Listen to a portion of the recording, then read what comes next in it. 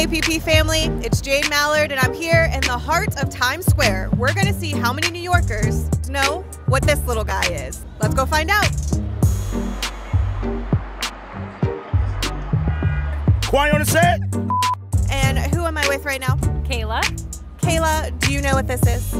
I would say like a wiffle ball. Looks like a toy of some sort, maybe like a dog chew. I don't know. A T-ball. That's your best guess. Yes. It's a pickleball. What is that? Excuse me, viewers. What is that? A pickleball? I thought it was a wiffle ball. Do you know what this is, Teddy? A pickleball. There we go. Next question Have you ever played pickleball?